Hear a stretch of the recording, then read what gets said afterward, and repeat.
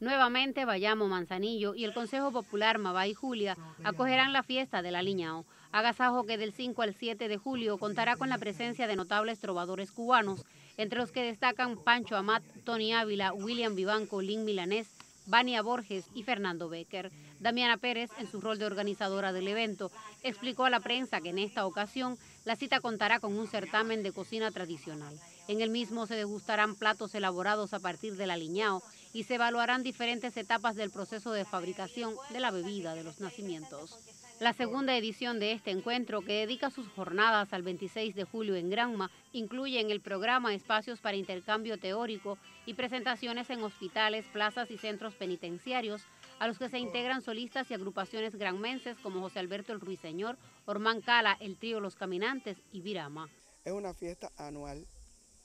con esas características y no solo eh, quieren enaltecer y rescatar la tradición del aliñado, sino también eh, estamos hablando de la confrontación, del intercambio de artistas de diferentes lugares del país, sobre todo creadores de, la, de creadores de la nueva canción, de canciones, eh, trovadores, soneros, en fin, música de la buena.